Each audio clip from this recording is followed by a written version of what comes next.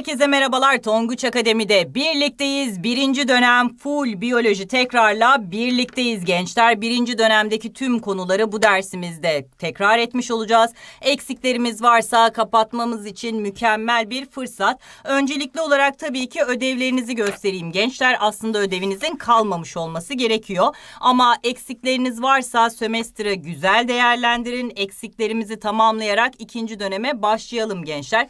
Biliyorsunuz ki ilk ünitemiz hücre bölünmeleri ünitesiydi. Hücre bölünmeleri ünitesinin tamamını bitirdik. Mitoz, eşeysiz üreme, mayoz ve eşeyli üreme kısımlarını anlattık. Kalıtımın da çok büyük bir kısmını anlatmıştık. Geldiğimiz yere kadar soruların tamamını çözmüş olmanız gerekiyor. Eşeğe bağlı kalıtıma kadar gelmiştik. Aslında tekrar kısmı karşımıza çıkıyordu bundan sonrasında. Sayfa 103'e kadar 10 dinamodan çözmediğiniz herhangi bir kısmın kalmamış olması gerekiyor.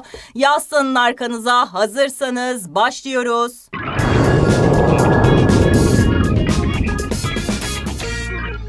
Şimdi öncelikli olarak bugünkü dersimizde neler göreceğiz? Gençler hücre bölünmeleri ünitesini tekrar edeceğiz. Kalıtımın bir kısmı birinci dönemde, bir kısmı ikinci dönemde anlatıldı. Kalıtımda eşeğe bağlı kalıtıma kadar vereceğiz ama kalıtımın başını bilmeden sondaki kısımları yapmamız mümkün değil. Yani kalıtım birbiriyle çok bağlantılı kavramları çok iyi bilmemiz gereken bir kısım. Buradan hemen mitoz ve eşeğsiz üreme ünitesinin o bölümüyle giriş yapıyorum. Öncelikli olarak tabii ki hücre bölünmelerinden bahsedeceğiz. Canlılar niçin bölünüyorlar? Bölündükleri zaman ne meydana geliyor? Bunları anlatacağız. Tek hücreli ve çok hücreli canlılarda hücre bölünmeleri farklı işleri gerçekleştirmeyi sağlıyordu. Adam tek bir hücreden meydana geliyorsa hücre bölünmesi yaptığı zaman birey sayısını arttırmış demektir. Çok hücreli canlılarda ise hücre bölünmesi üremeyi sağlamaz. Yani birey sayısında artışı meydana getirmez. Hücre bölünmesi neyi sağlardı gençler? Büyüme ve gelişmeyi sağlamış olurdu. Her canlının tabii ki neslini devam ettirebilmek için kendine benzer bireyler meydana getirmesi lazım. Kendine benzer yeni bireyler meydana getirmesine de üreme ismini veriyoruz. Canlılarda hem eşeyli üreme hem de eşeysiz üreme gözlemlenebiliyor. Canlı türüne bağlı olarak ikisini birden yapabilen canlılarda tabii ki var. Hücre bölünmesi de üremenin temelini oluşturuyor. İki çeşit bölünmemiz vardı. Bunlardan birincisi mitoz, ikincisi mayozdu.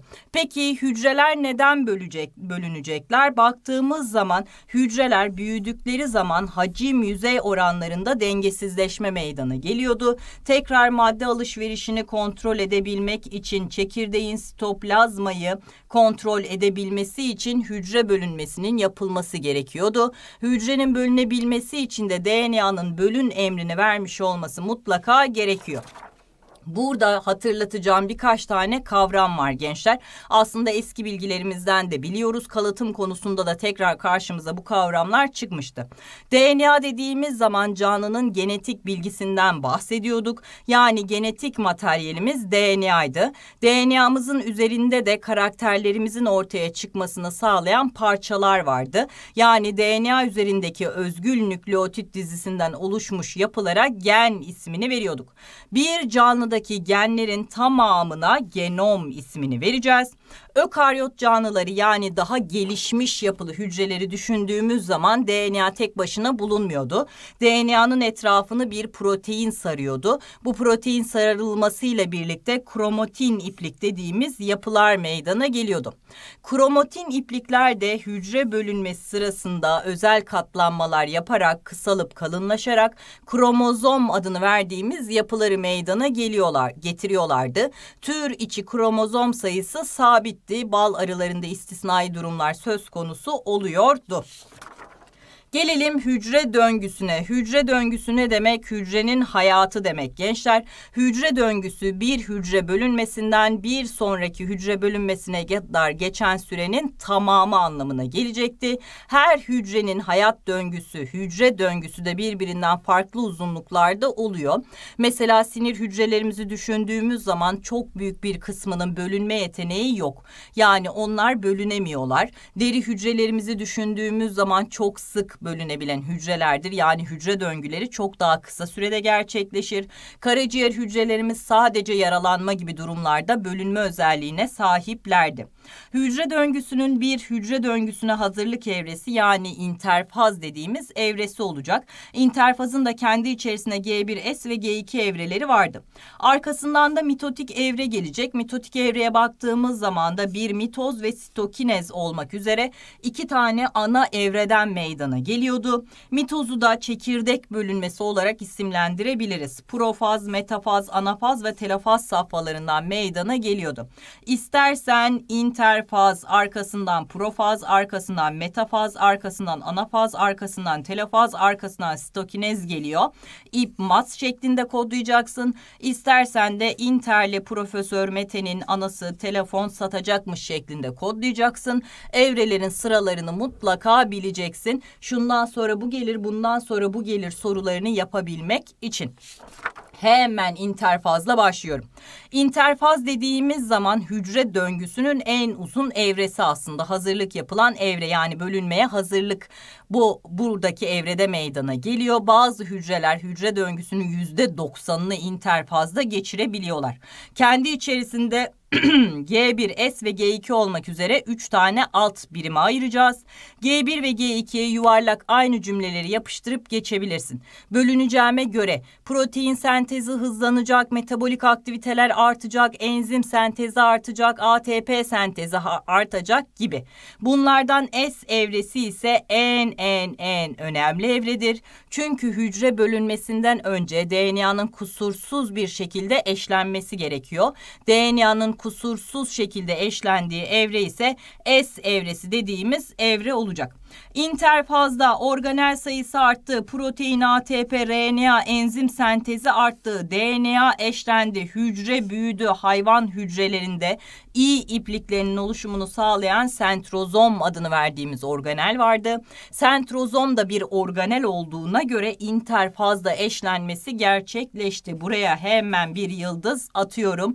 Unutma sentrozom eşlenmesi interfazda. Buradan da geçiyoruz karyokinez çekirdek bölünmesi dediğimiz kısma. Karyokinez çekirdek bölünmesi dediğimiz zaman tabii ki ilk evresi profaz olacak. Gençler profaz evresine baktığımız zaman çekirdek zarı erimeye başladı. Çekirdekçik kayboldu. Kromatin iplikler kısalıp kalınlaşarak kromozomlara dönüşmüş oldu. Burada unutmayacağın şey şu hayvan ve bitki hücrelerinde sentrozom durumu farklıydı. Hayvansal hücrelerde sentrozom organeli var. Sentrozomun eşlenmesi söz konusu oluyordu. İyi iplikleri sentrozom tarafından üretiliyordu. Bitkilerde ise sentrozom organeli yok ama sakın iyi iplikleri de yok hocam deyip atlama, düşme o tarz sorulara. İyi iplikleri bitkilerde de oluşturuluyor. Nerede oluşturuluyor? Sitoplazmada mikrotübül organize edici bölge, iyi ipliği organize edici bölge tarafından. Metafaza baktığımız zaman kromozomlar hücrenin ekvator düzlemine diziliyorlardı. İyi ipliği dediğimiz ipliklere tutunmuş oluyorlardı. Karyotip dediğimiz olayda metafaz evresinde gerçekleştiriliyordu. Karyotip ne demek? Aslında kromozomların fotoğrafının çekilmesi anlamına geliyordu gençler. Fotoğrafları çekebilmek için en net gördüğümüz metafaz evresinde çekim işlemini gerçekleştiriyorduk. Metafazdan sonra anafaz evresi geliyor. Anafaz evresinde ise kardeş kromatitler zıt kutuplara doğru çekiliyorlardı. Sentromer bölünmesi yani kromozomların bir arada tutulduğu o kısmın bölünmesi anafaz evresinde meydana geliyordu. Artık zıt kutuplara giden her bir kromatin ipliğe kromozom ismini verdiğimiz için anafaz evresinde kromozom sayısı geçici olarak iki katına çıkıyordu. Telofaz evresine baktığımız zaman profazın tam tersi olarak düşünebilirsin. Çekirdek zarı yeniden oluşmaya başladı. Çekirdekçik yeniden oluştu. Kromozomlar kromatin ipliklere dönüşüyordu. Sonra arkasından sitokinez yani sitoplazma bölünmesi gerçekleşecek. Böylelikle bir hücreden birbirinin tıpatıp aynısı iki yavru hücre meydana gelecek. Hayvansal hücrelere baktığımız zaman boğumlanmayla iki yavru hücre oluşuyordu. Bitkisel hücrelerde ise ara lamel, ara çeper oluşumuyla iki tane yavru hücre meydana geliyordu. Baktığımız zaman hayvan hücresinde mitozla iyi iplikleri sentrozom organeli tarafından oluşturulur. Sitoplazma bölünmesi boğumlanma ile gerçekleştirilir. Bitki hücrelerinde ise iyi iplikleri mikrotübül organize edici bölge tarafından oluşturulacak. Sitoplazma bölünmesi ara lamel oluşumuyla gerçekleşmiş olacak. Baktığımız zaman DNA miktarına, DNA miktarı G1, S ve G2 yani interfaz evresinde 2x kadar DNA'nın eşlenmesi nerede meydana geldi? S evresinde. Yani en başta x kadar olan DNA S evresinde iki katına çıktı. Sonra sitokinez gerçekleştiği zaman tekrar yarıya indi. Başta x ile başlamıştım, x ile bitirmiş oldum. Kromozom sayısındaki değişime baktığımız zaman da x sayıda kromozom vardı. Anafaz evresinde geçici olarak iki katına çıktı çünkü onlara artık kromozom ismini verdik. Stokla stokinezde kromozom sayısı yarıya indi. Yani yine X kadar kromozomla tekrar bitirmiş olduk. Buradan devam edecek olursak hücre döngüsünün kontrol noktalarına. Hücre döngüsünün üç tane kontrol noktası var. Bunlar G1, G2 ve M kontrol noktaları. G1 neydi? İnterfazdaki G1'e denk gelecek. Birazdan S yani DNA'nın eşlenmesi gerçekleşecek. DNA eşlendiği zaman o hücre bölünmek zorunda. Yani bunun geriye dönüşü yok. O zaman G1'de gerçekten hücre bölünmesine gerek var mı yok mu bu kontrol edilecek. G2 kontrol noktası da S'ten hemen sonraki kontrol noktasıydı. DNA'nın eşlenmesinde herhangi bir hata var mı yok mu bu kontrol edilecek. Eğer hata varsa dur sinyali verilecek. DNA kendini e, düzelttikten sonra tekrardan bölünme devam edecek. M kontrol noktası ise metafaza denk geliyor. Tüm kromozomlar iyi ipliklerine tutundu mu tutunmadı mı bunun kontrol edildiği bölgeden evreden bahsediyoruz. Hemen buradan da eşeğsiz üremeye geçiyorum gençler. Eşeğsiz üreme dediğimiz zaman genetik çeşitlilik yok. Ana canlının üreme hücresi üretmeden, döllenme olayı meydana gelmeden tek başına yeni bireyler meydana getirmesine eşeğsiz üreme ismini veriyoruz. Haliyle temeli neye dayanacak? Mitoza dayanmış olacak. Eşeğsiz üreme sonucu oluşan yeni canlılar ana canlı ile aynı genetik özelliklere sahip. Mutasyon olmadığı sürece kalıtsal çeşitlilik görülmez. Bu nedenle eşeğli üreyen canlıların değişen çevre koşullarına uyum yeteneği güç. Aynı ata canlıyla genetik yapısı aynı, çevreye uyum yeteneği de aynı. Çevre şartları değiştiyse bunun da uyum yeteneği bozuldu demektir. Basit ve hızlı bir üreme şekli, eşeğsiz üreme tek hücrelerde görülüyor, bitkilerde, mantarlarda, hayvanların bazılarında görülüyor. Eşeğsiz üremeye de baktığımız zaman bölünerek üreme, tomurcuklanma, sporlu üreme, vejetatif üreme, rejenerasyonla üreme ve partonogenezle üreme olmak üzere kendi içinde alt gruplara ayrılıyor. Hemen bölünerek üremeye bakıyorum. Bir kere üremenin en hızlı şekli bölünerek üremedir. Prokaryot ve ökaryot tek hücreli canlılarda gözlemlenecek. Birey sayısının geometrik dizi şeklinde arttığı üreme şeklinden bahsediyoruz. 2, 4, 8, 16, 32 şeklinde artış söz konusu oluyor. Tomurcuklanma ile üremeye baktığımız zaman da ana bireyin vücudunda mitozda oluşan çıkıntının gelişmesiyle yeni bir bireyin oluşmasından bahsediyoruz. Yeni birey ana canlıya bağlı kalarak hop koloni oluşturabilir ya da bağımsız yaşamda söz konusu olabilir. Sporla üreme dediğimiz zaman canlılar spor adı verilen üreme hücreleri meydana getiriyorlar. Aslında oluşturduğu üreme hücresinin etrafını dayanıklı bir kılıfla sardığı zaman onun adı spor oluyor.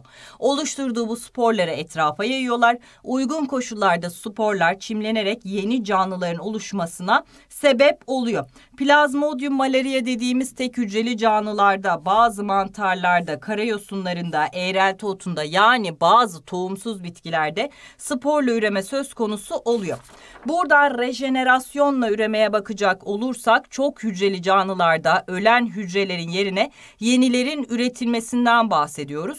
Ana canlıdan kopan bir parçanın kendini tamamlayıp yeni canlı oluşturmasına rejenerasyonla üreme ismi verilir. Canlının genellikle gelişmişlik düzeyi arttıkça rejenerasyon yeteneği azalıyor gençler. Fix örnek olarak kimi bileceğiz? Deniz yıldızını ve planerya dediğimiz solucanı. Vejetatif üreme dediğimiz zaman yüksek yapılı bitkilerde görülecek. Aslında bitkinin kopan bir parçasından ana bitkiyle birebir aynı genetik yapıda bitki oluşturulmasından bahsediyoruz. Yumruyla üreme, soğanla üreme, rizomla üreme, sirinucu gövdeyle üreme, daldırma yöntemi gibi yöntemler vejetatif üremenin çeşitleridir. Partonogenezle üreme dediğimiz zaman da bal arısı gibi sosyal grup oluşturan canlılarda görülen özel bir üreme şeklinden bahsediyoruz. Bal arılarında kraliçe arılarımız var. İken kromozomlu gayet üretken canlılardır. Bir de erkek arılarımız var. Onlar da en kromozomlu. Normalde tür içi kromozom sayısı sabitti ama bal arılarının istisnai bir durumu var. Bir de bal arılarında işçi arılar var. İşçi arılar da dişi arılardır fakat kısır bireylerdir.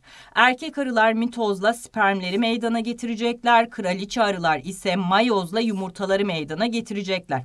Sperm ve yumurta birleştiği zaman zigot iken kromozomlu yani dişi birey meydana gelecek. Sen dişi embriyoları çiçek tozuyla beslersen kısır olan işçi arılar meydana geliyor. Arı sütüyle beslersen kraliçe arı olan verimli arılar meydana gelmiş oluyor. Eğer erkek arılar en kromozomlu yumurtaların gelişmesiyle meydana gelen canlılardır. Yani kraliçenin ürettiği en kromozomlu yumurtalar herhangi bir döllenmeye katılmaksızın büyür gelişirse erkek arılar meydana geliyor. Erkek arıların oluşumuna partonogenez ismini veriyoruz. Çünkü döllenmemiş yumurtadan yeni birey gelişmesi anlamına geliyor. Buradan mayoza geçecek olursak mayoz canlıların üreme organlarındaki eşey ana hücrelerinde yani üreme ana hücrelerinde meydana geliyor. Mayoz ve döllenme tabii ki kimin temeli olacak? Eşeyli üremenin temeli olacak. Mayoz sonucu oluşan ve döllenme için farklılaşan hücrelere gamet yani üreme hücresi adını verdik. Gametlerin mayozla meydana getirilmesi olayına ise gametogenez ismini veriyoruz. Dişilerde üretilen gametlere yumurta, erkeklerde üretilen gametlere ise sperm ismi veriliyor. Hemen devam ediyorum. Biri anneden, diğeri babadan gelen şekil ve yapı bakımından birbirine benzeyen kromozomlara homolog kromozom ismini verdik. Homolog kromozomlar üzerinde de genlerin bulunduğu bölgeler var. Bu bölgelere de lokus ismini veriyoruz. Sonra homolog kromozomları çiftler halinde taşıyan canlılar var. Yani her karakterle ilgili iki gen taşıyan canlılar var. Onlar bizim için diploid yani iken kromozomludur. Her karakterle ilgili bir takım gen taşıyanlar ise haploid en kromozomlu hücrelerdir. Baktığımız zaman mayoz bölünmenin amacı tabii ki gamet oluşumudur. Gamet oluşumu sırasında kromozom sayısı yarıya iner. Sonra döllenme gerçekleştiği zaman kromozom sayısı tekrar eski haline gelir. Yani tür içi kromozom sayısının sabit kalmasını sağlayan şey mayoz ve döllenme dediğimiz olaylardır. Mayoz kalıtsal çeşitliliği sağladığı canlının hayatının sadece belli bir bölümünde meydana geliyor. Mayoz sırasında sırasında bir kez interfaz, iki kez sitokinez gerçekleşecek ve mayoz sonucunda dört tane haploid hücre oluşacak. Şimdi mayozun kendi içerisinde evrelerine de bakacak olursak interfazı mitozun interfazı ile aynı. Yine G1, S ve G2 evrelerinden meydana geliyor. S evresinde DNA'nın eşlenmesi var. Mayozu kendi içerisinde mayoz 1 ve mayoz 2 olmak üzere ikiye ayıracağız. Yine çekirdek bölünmesi ve sitoplazma bölünmesi, çekirdek bölünmesi ve sitoplazma bölünmesi gerçekleşecek. Mayoz 1'de olanlara profaz 1, metafaz 1, anafaz 1, telofaz 1 isimlerini vereceğiz göreceğiz. Arkasından da sitoplazma bölünmesi gelecek interfaza bakacak olursak mayoz için gerekli tüm hazırlıklar yapılır. DNA'nın kendini eşlemesi, gerekli enzimlerin, proteinlerin sentezlenmesi, organel sayısının arttırılması interfazda meydana geliyor. Aynı mitozun interfazı gibi. Sonra mayoz 1 başlıyor. Mayoz 1'in de profaz 1 evresi en önemli evredir. Çünkü genetik çeşitliliğin oluşmasını sağlayan aslında olaylar mayoz 1'in profaz 1'inde meydana gelecek. Çekirdek zarı ve çekirdekçi kayboldu. Kromatin iplikler kısalıp kalınlaşarak kromozomlara dönüştü. Ama homolog kromozomlar bir araya gelip tetrat adı verilen yapıları meydana getirdi getirmiş oldular. Sonra bu kromozomların birbirine değmesi, sinaps yapması söz konusu oldu. Sinaps yaptıkları yerlerde ise parça değiş tokuşu yani crossing over olayı gerçekleşti. Her mayoz bölünmede crossing over gerçekleşmek zorunda değil ama crossing over'ın gerçekleşmesi genetik çeşitliliğin artmasını sağlayan en önemli faktörlerdendir. Profaz 1'den sonra metafaz 1 geldi. Artık kromozom demiyoruz. Tetrat veya homolog kromozom kelimelerini kullanıyoruz. Bunlar karşılıklı gelecek şekilde ekvatoral düzleme dizildiler. Anafaz evresinde homolog kromozomlar birbirinden ayrıldı. Rastgele zıt kutuplara doğru çekilme söz konusu oldu. Homolog kromozomların zıt kutuplara rastgele çekilmesi de yine genetik çeşitliliğe yol açan olaylardan bir tanesi. Sonra telofaz 1 evresi geldi. Telofaz 1 evresinde de eşlenmiş kromatitler bir arada bulunuyorlar. Çekirdek zarı ve çekirdekçik canlı türüne göre tekrar oluşabilir veya oluşmayabilir. Devamında mayoz 2 var ya türe göre bu farklılık gösterebiliyor.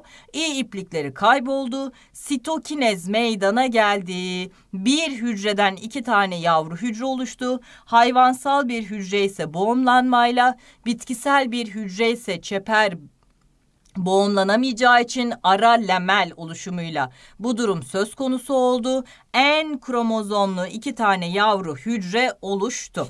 Sonra geldik mayoz 2'ye. Mayoz 2 de mitoza benzer şekilde gerçekleşecek. Başta interfaz yok. Mayozda interfaz bir kere var. O da mayoz 1'in en başında yani ilk evre olarak karşımıza çıkıyor. Profaz 2'ye baktığım iyi iplikleri oluştu. Kromozomlar iyi ipliklere kinetokorlarından bağlandılar. Yavaş yavaş ekvatoral düzleme hareket etmeye başladılar. Türe göre çekirdek zarı çekirdekçik oluştuysa bunlar da tekrardan kayboldu. Metafazda kromozomlar ekvator düzlemine dizildi. Anafazda kardeş kromatitler zıt kutuplara çekildi. Yine geçici olarak bunlara kromozom ismini verdiğimiz için kromozom sayısının iki katına çıkması söz konusu oldu. Telofaz 2'ye baktığımız zaman kromozomlar tekrardan şöyle parmağımın arasında bir ipliği sıkıştırmışım gibi kromatin ipliğe dönüştü. İ iplikleri kayboldu. Çekirdek zarı ve çekirdekçik kayboldu pardon özür dilerim yeniden oluştu. Endoplazmik retikulum da kaybolmuştu. Yeniden oluştu. Sitokineze geldiğimiz zaman da sitoplazma bölünmesi gerçekleşti. Artık benim en kromozom sayısına sahip dört tane yavru hücrem meydana gelmiş oldu. Bu hücrelerin genetik yapısı birbirinden farklı. O yüzden de döllenmeye katıldıkları zaman birbirinden farklı olacak. Devam ediyorum. Mayozda DNA miktarı değişimi nasıl gerçekleşiyor? DNA miktarı diyelim ki en başta 2x kadardı. S evresi dediğimiz evrede DNA miktarının iki katına çıkması söz konusu oldu. Sonra baktığımız zaman DNA sabit kaldı. Sitokinez 1'de tekrardan 2x'e yani yarısına düştü. Sonra sitokinez 2'de de tekrar düşüp x'e geldi. 2x'le başladım, x ile bitirdim. Yani DNA miktarı yarıya indi. Kromozom sayısında da aynı mantık geçerli aslında. 2x ile başladım, x ile bitirdim. Stokinez 1'de bir düşüş oldu. Buradaki anafazda geçici olarak iki katına çıkıp tekrar düşüş meydana gelmiş oldu. Hemen devam ediyoruz mitozla mayozun farklarına. Üniversite sınavında da çok sorulur. Gençler yazılılarda da hocalar eski konulardan soracaksa mutlaka mitozla mayozun ortak özelliklerini, farklılıklarını sorarlar. Öncelikle farklarına bakalım. Mitoz vücut hücrelerinde, mayoz eş ana hücrelerinde meydana geliyor. Mitozu en, 2N, 3N kromozomlu hücreler geçirebiliyor. Mayozu 2N kromozomlu hücreler geçiriyor. Mitoz bütün organlarda görülüyor. Mayoz ise sadece eşey organlarında meydana geliyor. Mitoz bütün hayat boyunca devam ederken mayoz sadece ömrümüzün belli döneminde meydana geliyor. Mitozda bölünme sonucu iki hücre oluştu. Mayozda dört tane hücre oluştu. Mitozda bir kere çekirdeği bir kere sitoplazmayı böldüm. Mayozda ise iki evre vardı. İki kere çekirdeği iki kere sitoplazmayı böldüm. Mitozda kromozom sayısı değişmedi. Mayozda ise yarıya indi. Mitoz eşeysiz üremeyi sağladı, büyümeyi, gelişmeyi, onarımı sağladı. Mayoz ise eşeyli üreme için üreme hücrelerinin üretimini sağladı. Mitozda kalıtsal çeşitlilik yok, mayozda ise var. Sinapsis, tetrat, crossing over olayları mitozda görülmez. Mayozda ise bu olaylar gözlenmiş olacak. Homolog kromozomların ayrılması gözlenmez. Mayoz 1'de ise homolog kromozomlar birbirlerinden ayrılmış olacak. Bakıyorum benzerlikleri ne? İkisinde de hücre sayısı arttı. İkisinde de interfazda DNA eşlendi. İkisi de üremede görev alabildi. Mayoz 2'de ve mitozda kardeş kromatitler birbirinden ayrıldı. Sentrozom eşlenmesi, çekirdek zarının kaybolması, ipliklerinin oluşması, çekirdekçiklerin kaybolması ortak olarak gerçekleşen olaylardır. Hemen eşeyli üremeye de geçiyorum. Farklı cinsiyetteki bireylerin oluşturduğu dişi ve erkek gametlerin birleşmesiyle gerçekleşen üreme şekline eşeyli üreme ismini vereceğiz. Temeli neye dayanacak? Mayoz bölünmeyle gamet oluşumuna ve bu gametlerin döllenmesine dayanmış olacak. Üreme hızına kıyas yaptığımız zaman eşeysiz üreme çok kısa sürede birey sayısının artmasını sağlıyordu. Eşeyli üreme ise üreme hızı daha düşük olan bir üreme çeşididir. Oluşan yavrular hem analarından babalarından farklı özelliklere sahip olacaklar hem de genetik çeşitliliğin artmasını sağlamış olacaklar. Eşeyli üreme canlının değişen çevre koşullarına uyum yeteneğini arttırır. Çünkü genetik çeşitlilik söz konusu. Mantarlarda, bitkilerde, hayvanlarda eşeyli üreme görülebiliyor. Baktım. Döllenme ne demek, zigot ne demek? Bizim mayoz bölünme sonucunda oluşturduğumuz üreme hücrelerine gamet ismini veriyorduk. Gametlerin birleşmesine döllenme ismini vereceğiz. Döllenmeden sonra da zigot oluşumu söz konusu olacak. Eşeysiz üremenin temeli mitozdur. Eşeyli üremenin ise mayozdur. Eşeysiz üreme kalıtsal çeşitlilik görülmez. Eşeyli de ise görülecek. Eşeysiz üremenin hızlı olduğunu, eşeyli üremenin yavaş olduğunu söyledik. Oluşan bireyler çevre koşullarına daha dayanıksız oluşan bireyler çevre koşullarına daha dayanıklı olacak. Döllenme görülmez. Döllenme eşeyli üremede görülecek. Yavrular tek ata canlıdan gelişecek. Erkek ve dişi bireylere ait üreme hücrelerinin birleşmesiyle yavrular eşeyli üremede meydana gelmiş olacak. Buradan hemen bir tane soru yaparak bu ünitemizi bitiriyorum. Mitoz bölünme geçiren bir bitki hücresi ile mayoz bölünme geçiren bir hayvan hücresinde iyi ipliklerini oluşturan yapılar aynı değil. Hayvanlarda sentrozom tarafından oluşturuluyor. Bitkilerde mikrotübül organize edici bölgeler var. Oluşan hücrelerin kalıtsal yapısı biri mayoz geçiriyor, biri mitoz geçiriyor. Yani kalıtsal yapısı birbiriyle aynı olmaz gençler. Sitoplazmanın bölünme şekli bitkisel hücrelerde ara lemel oluşumu, hayvansal hücrelerde ise boğumlanma oluşacak. Oluşan hücrelerin kromozom sayısı dediğimiz zaman da mitoz geçirende kromozom sayısı aynı olacak. Mayoz geçirende kromozom sayısı yarıya inmiş olacak. Ama mantıken düşündün. Mesela bitki hücresi mitoz geçiriyor ya. Bitki hücresinin kromozom sayısı 40 desek mitoz bölünme sonucunda oluşan hücrelerin de kromozom sayısı 40 40 olacak. Mayoz bölünme geçiren hayvan hücresinin 80 kromozomu olsa mayoz bölünme sonucunda da 40'a inmiş olacak. Yani olabilirli sorduğu için hücrelerin kromozom sayısı aynı olabilir gençler. O yüzden cevabımız yalnız 4 şeklinde oldu. Buradan da kalıtım ve biyoçeşitlilik ünitesine geçiyorum. Kalıtımın genel esasları kısmına başlıyorum gençler. Ebeveynlerden yani anne ve babadan oğul dönlere genlerle aktarılan özelliklere kalıtsal özellikler ismini veriyoruz. Kalıtsal özelliklerin aktarımına da kalıtım ismini veriyoruz. Canlılar arasında çeşitlilik gösteren, dölden döle aktarılabilen ve bireylerin sahip olduğu niteliklerin her birine karakter ismini verdik. Karakterlerin de farklı tipleri var. Bunlara da özellik ismini veriyoruz. Mesela saç şekli bir karakterdir, saç rengi bir karakterdir, göz rengi bir karakterdir. Gözün mavi olması, özellik gözün kahverengi olması birer özelliktir.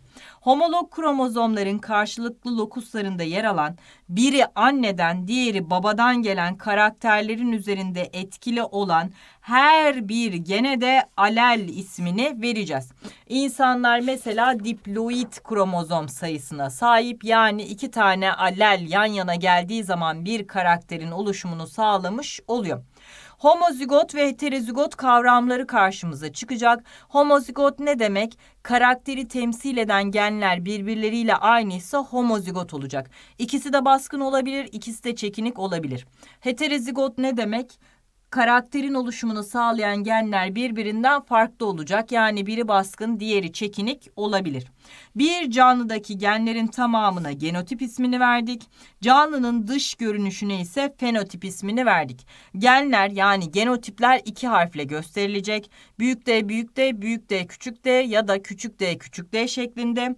Fenotip ise dış görünüştür. Yani dışarıdan bakıldığında görülen haldir. Ya büyük D ile ya da küçük D ile gösterilmiş olacak. Heterozigot durumda canlının fenotipinde etkisini gösteren aleline baskın gen diyeceğiz. Baskını aynı zamanda dominant gen ismini de verebiliriz. Sonra diploid hücrelerde sadece homozigot haldeyken etkisini gösterebilenlerde çekinik resesif allel ismini vermiş olacağız. Mendel genetiğin kurucusu babasıdır. Genetikle ilgili ilk çalışmaları o yaptığı için Mendel çalışmalarını tabii ki bezelyeleri kullanarak yaptı.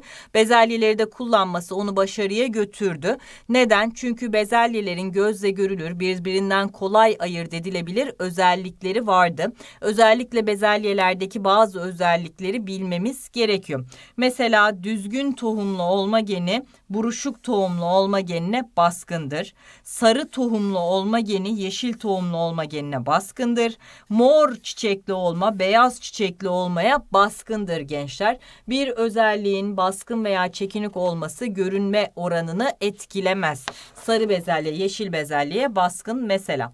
Mendel'in bezelyeleri seçmesi ona avantaj sağladı çalışmalarında. Çünkü bezelyeler karakter bakımından kolay ayırt edilebilen özelliklere sahipti. Sarı olma, yeşil olma, düzgün olma, buruşuk olma gibi. Sonra bunlar kolay yetiştirilebiliyordu kısa zamanda çok sayıda döl verebiliyorlardı. Aynı zamanda kendi kendine tozlaşabilme özelliğine sahiptiler. Çapraz tozlaşmaya da açıktılar ama kendi kendine tozlaşmalarını böyle sulu boya fırçaları kullanarak Mendel gerçekleştirdi. Oranları ortaya çıkarttı. Bir de bağımsız gen ve bağlı gen kavramlarımız vardı. Karakteri temsil eden genler farklı kromozomlar üzerinde ise biz bunlara bağımsız gen ismini veriyorduk. Karaktere etki eden alleller aynı kromozom üzerinde bulunuyorsa bunlara da bağlı gen ismini veriyorduk. Sonra allellerin gametlere taşınmasına baktığımız zaman her harf farklı bir karakteri temsil edecek. Ben mayoz bölünmeyle gamet oluşturduğum zaman da her harfin gitmesi lazım. Gözümle ilgili geni vereyim ama pankreasla ilgiliyi vermeyeyim, saçımla ilgili gitmesin gibi bir şey yok. Her harf gidecek. Mesela adam büyük A, büyük A, büyük B, büyük B ise zaten büyük A'yı ve büyük B'yi vermekten başka alternatifi yok. Keza küçük harflerse de yine küçükleri vermekten başka alternatifi yok. Heterozigotlara baktığımız zaman alternatif çoğalıyor. Büyük A'yı da verebilir, küçük A'yı da verebilir. Büyük A'nın yanına büyük B'yi de verebilir, küçük B'yi de verebilir. Küçük A'nın yanına büyük B'yi de verebilir, küçük B'yi de verebilir. Yani alternatif artıyordu. Heterozigot allellerde gamet çeşidini bulmak için de 2 üzeri n formülünü kullanıyorduk. N buradaki heterozigot birey sayısıydı. Buradan devam ediyorum. Dediğim gibi genler bağımsızsa 2 üzeri n formülünü kullanacağız. N burada heterozigot karakter sayısıydı. Bakıyorum dıt dıt genotipli bireyin oluşturabileceği gamet çeşidi sayısını sormuş bana. Şimdi burada kaç tane heterozigot var? 3 tane heterozigot var. O zaman 2 üzeri 3'ten direkt 8 çeşit gamet oluşturabilir diyoruz.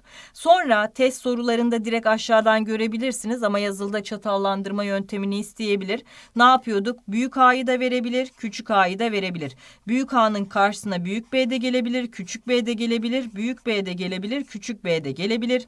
Büyük C'de, küçük C'de, büyük C'de, küçük C'de, büyük C'de, küçük C'de, büyük C'de, küçük C'de gelebilir. Şöyle tersten yazmaya kalktığımız zaman büyük A, büyük B, büyük C olabilir. Şöyle tutup yazmaya kalktığımızda büyük A, büyük B, küçük C olabilir. Veya büyük A, küçük B, büyük C, büyük A, küçük B, küçük C olabilir. Zaten dört tanesini buradan bulduk. Kalanını da A'sını küçük harfli yazsak çıkar. Büyük A büyük Küçük a büyük b büyük c olabilir. Küçük a büyük b küçük c olabilir. Küçük a Küçük b büyük c olabilir. Küçük a küçük b küçük c şeklinde olabilir. Olabilecek alternatiflerin tamamını da ben yazarak size göstermiş oldum. Hemen monohibrit çaprazlamaya da geçiyorum. Bir karakter bakımından heterozigot genotipli bireylere monohibrit dedik. Monohibrit bireylerin çaprazlanmasına da monohibrit çaprazlama ismini verdik. Mendel baktığımız zaman F1 dölünün bütün bireylerinin heterozigot olduğu zamanda benzerlik ilkesinin geçerli olduğunu söylemiştir. Mesela yuvarlak tohumlu bir geni düşündüğümüz zaman şöyle bir durum söz konusu oluyor. Yuvarlak tohumlu olma geni baskındır. O zaman yuvarlak tohumlunun homozigot büyük D büyük D olduğunu düşünürsek buruşuk tohumlu da küçük D küçük D olmak zorunda. O zaman şuradaki yuvarlak tohumlu heterozigot birey olmak zorunda. Sen tutar da iki tane heterozigot genotipe sahip bireyi birbiriyle çaprazlarsan buradan büyük D büyük D büyük D küçük D büyük D küçük D küçük D küçük D bireyler meydana gelir. Büyük D yuvarlak yuvarlak tohumlu olmayı gösterdiği için bir homozigot, iki heterozigot yuvarlak tohumlu olur. Bir tane de çekinik olur. Ayrılma yasası ne demek? Gametlerde bireylerde bulunan allellerden sadece bir tanesi gidiyor. Buna ayrılma yasası ismi veriliyor. Hangi gamete hangisinin gideceği bağımsız. Yani mesela benim büyük A küçük A genim var. Büyük A da gidebilir, küçük A da gidebilir. Baskın daha hızlı ihtimalle gider, çekinik geride kalır diye bir şey yok. İkisinin gitme ihtimali de birbirine eşittir. Bireyin kendi genotipindeki bir bireyle çaprazlanmasına ise kendileştirilme ismini veriyoruz. Bire bir aynı genotipte biriyle çaprazlanmasından bahsediyoruz. Kontrol çaprazlaması ne demek? Bazen homozigot özellikte mi, heterozigot özellikte mi baskın karakteri taşıyan kişi bilemiyoruz.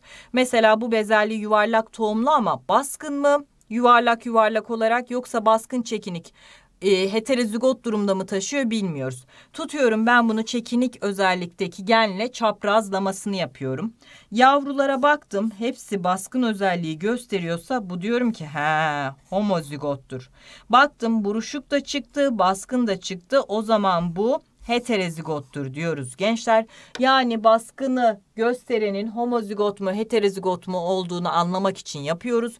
Çekinik bireyle çaprazlıyoruz dihibrit çaprazlama dediğimiz zaman iki karakter yönüyle melez olan bireylerin çaprazlanmasından bahsediyoruz. Burada da fenotip çeşidi ve genotip çeşidi sayısını formülleri kullanarak bulabiliriz.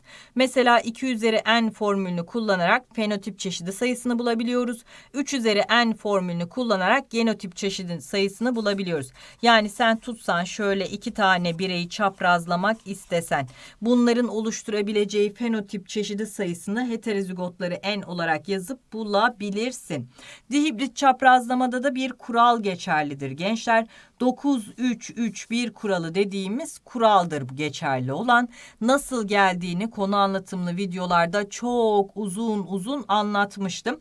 Bu konu tekrar videomuz olduğu için çok fazla derecede açmayacağım gençler. Bizim iki tane heterozigot bireyimizin olduğunu kabul edelim. Büyük S, küçük S, büyük D, küçük D şeklinde. Ben bunların oluşturabileceklerini bulmak istediğim zaman bunların gametlerini tabii ki yazmam gerekiyor gençler. Gametlerini yazdım. Büyük S büyük D, büyük S küçük D, küçük S büyük D, küçük S küçük D şeklinde olabilir. Yine gametleri şuralara da yazdım. Sonra ben buradan çıkabilecekleri yazmaya başlıyorum. Tabloyu doldurduğum zaman sarı düzgün, sarı buruşuk, yeşil düzgün, yeşil buruşuk yavruların olduğunu, bunların da 9-3-3-1 oranında meydana geldiğini görüyorum. Dediğim gibi kuraldır. Eş baskınlık ne demekti? Bir karakterle ilgili allel çiftleri bir araya geldiğinde birinin etkisi görülmüyorsa, her ikisinin etkisi de ortak olarak görülüyorsa buna eş baskınlık ismini veriyorduk. Mesela benim bir kırmızı çiçeğim var, bir beyaz çiçeğim var. Sen bunları çaprazladın. Yaprakların bir kısmı kırmızı noktalı, bir kısmı beyaz noktalı oldu. Yani hem kırmızıyı gördüm hem beyazı gördüm. Eş baskınlık anlamına gelir. İnsanlarda AB kan grubu sistemi eş baskınlığa örnektir. Kan alışverişlerinde öldürücü etkiye sahip olmayan MN kan grubu sistemi de eş baskınlığa örnektir. Yani bazılarımız MM kan grubuna, bazılarımız NN kan grubuna, bazılarımız da MN kan grubu dediğimiz kan grubuna sahibiz. Geldim soy ağaçlarına.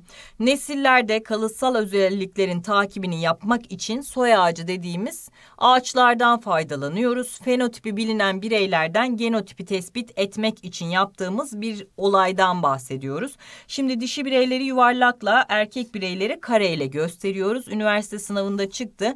Cinsiyeti belirlenmeyen bir birey varsa onu da işte yamuk kare diyeyim, baklava modeli diyeyim öyle temsil ediyoruz. İncelenen özelliği taşıyan bireylerin içerisini ya tarıyorlar ya da koyu renkli olarak veriyorlar. Taşımayanların içini boş gösteriyorlar. Kardeş olma durumunu şöyle bağlantılı olarak gösteriyorlar. Eğer bunlar tek yumurta iki daha doğrusu bunlar ikizlerse bir tane doğumda iki çocuk meydana geldi diye şu şekilde gösteriyorlar. Tek yumurta ikizlerini ise ortalarına bir çizgi koyarak belli ediyorlar. Sonra baktığımız zaman nokta içinde görüyorsanız heterozigot dişi bireyden, nokta içinde görüyorsanız heterozigot erkek bireyden bahsediliyordur. Eğer tutup da üstlerini çizdiyse o bireyler ölmüştür. Çok allelli kalıtım ne demek? Bir türde bir özellikle ilgili ikiden fazla gen çeşidinin bulunmasına çok allelli kalıtım ismini veriyoruz. Tavşanlarda mesela kürk renginin ortaya çıkmasında bu durum etkilidir. İnsanlarda AB0 kan grubu sistemi de bu duruma örnektir gençler. Senin unutmayacağın şey ne? İstediği kadar allel olsun. İki en diploid kromozom sayısına sahip bir canlıda en fazla iki gen bulunur. Genotip çeşidi sayısını n çarpı n artı 1 bölü 2 formülüyle hesaplıyorduk. Yani n burada allel gen sayısıydı. Mesela sana dedi ki 5 tane allel var. A1 baskındır A2'ye, o da baskındır A3'e, o da baskındır A4'e şeklinde. Sen bunun oluşturabileceği genotip çeşidini hesaplamak istiyorsan n çarpı n artı 1 bölü 2 formülünü kullanıyordun. 4 tane allel olduğuna göre 4 çarpı 5 bölü 2'den 10 çeşit genotip açığa çıkar diyordun. Hemen bir tane örnek üstünden göstereyim. Bir canlının sahip olduğu A karakteri bakımından 4 farklı alel ilişkisi varmış. He, tam baskınlık değil bir eş baskınlık durumu söz konusuymuş. Kaç çeşit fenotip ve genotip açığa çıkar diyor. Birincisi genotip çeşidi hiçbir zaman değişmez. N çarpı N artı 1 bölü 2 yaparım. 4 çarpı 5 bölü 2'den 10 çeşit genotip olduğunu bilirim. Eğer tam baskınlık söz konusu olsaydı gen sayısı kadar fenotip açığa çıkıyordu. Ama şöyle bir durum söz konusu olduğunda A1 baskındır A2 o da baskındır A3'e eşittir A4 olduğunda hem allel sayısını alıyordum artı bir de eş baskınlıktan alıyordum. Yani dört tane allel var bir tane de eş baskınlıktan gelecek. Beş çeşitte fenotip açığa çıkabilir diyordum bunları konu anlatım videosunda çok uzun uzun yaza yaza göstermiştim. Kan gruplarındaki kalıtıma geldiğimiz zaman insanlarda A, B, 0 kan grubunun belirlenmesine görevli olan 3 allelimiz var. Dediğim gibi A, B, 0 kan grubu sistemi hem çok allelli kalıtıma hem de eş baskınlığa örnektir. Baktığımız zaman bir de pozitif negatif olma durumumuz var. Pozitif negatif olma durumumuz da kan alışverişlerinde e, önemlidir gençler.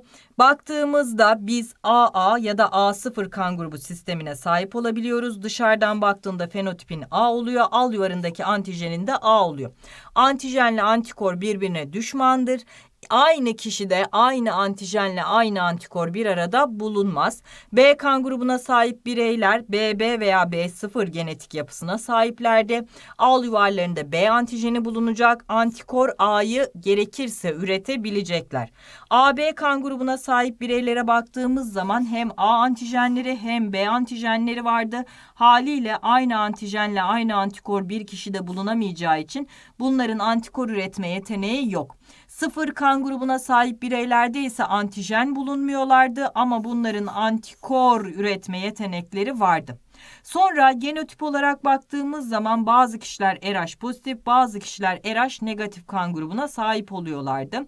Pozitif bireyler RH antijenine sahip, negatif bireyler ise RH antijenine sahip değiller. Negatif bireyler ilk antijenle karşılaştıklarında antikor oluşturma yeteneğine sahipler. Dediğim gibi aynı kişide aynı antijenle aynı antikor bir arada bulunmaz. Eğer bulunursa çökelme, aglünitasyon dediğimiz durum söz konusu oluyor.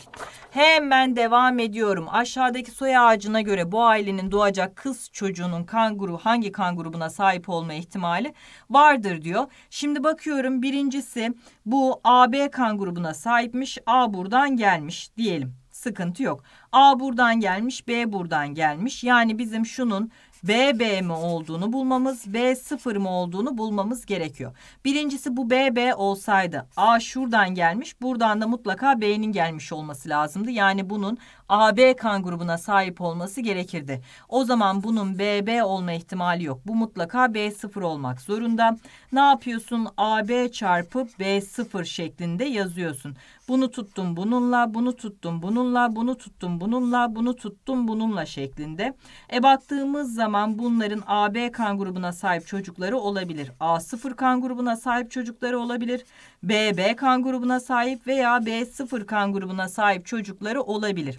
B kan grubuna sahip olması BB veya B0 olduğu anlamına gelir. Bunların kız çocuğunun B kan grubuna sahip olma ihtimali %50 veya 1 bölü 2'dir gençler. Kan uyuşmazlığı ne demek? Kan uyuşmazlığı da annenin negatif, babanın pozitif olduğu durumlarda bebişinde pozitif olduğunda görülen bir durumdur. Anne negatif kan grubuna sahip olduğu için antijene sahip değil. RH antijenleri yok. Ama gerekirse antikor üretebiliyor.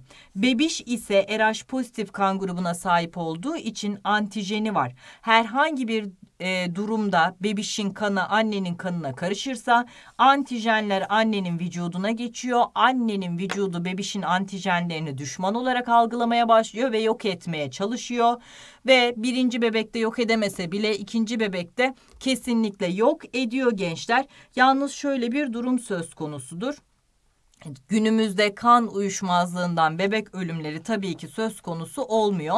Doktor müdahalesiyle e, bu durumun görülmesi engelleniyor.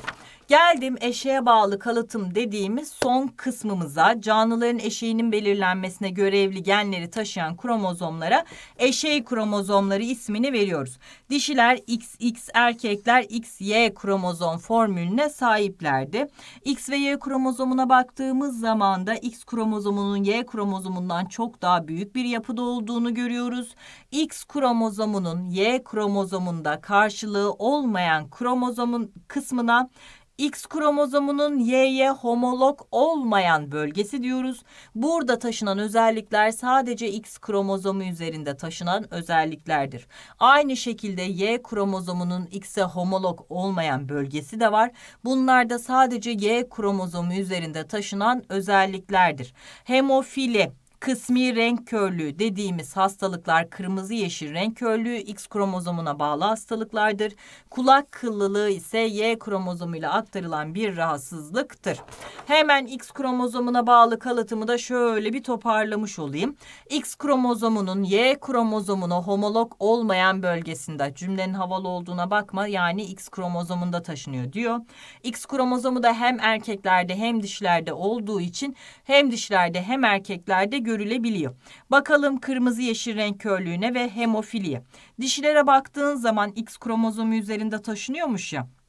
Büyük R'ye sahip olanlar normal görme genine sahiptir. Küçük R çekinik genle taşındığı için de renk körlüğü genini temsil edecek. Dişilerde büyük R büyük R olabilir. İkisi de normal görüş geni bu bireyler sağlıklı. İkisi küçük R küçük R olursa zaten renkli şey kırmızı yeşil renk körü bireyler meydana gelecek. Dişilerde iki tane X olduğu için birinin üstü büyük R diğerinin üstü küçük R olabilir. Bu bireyler renk körü değil ama renk körü geni taşıyıcısıdır. Bir sonraki nesle aktarabilir verebilirler. Erkeklerde sadece bir tane X kromozomu olduğu için ya X üzeri büyük R yani sağlıklı oluyorlar ya da X üzeri küçük R'yi taşıyıp renk körü oluyorlar. Hemofilide de aynı mantık geçerli. Büyük H'lar sağlıklı olma genidir. X üzeri büyük H, X üzeri büyük H olabilir. Dişi birey sağlıklıdır.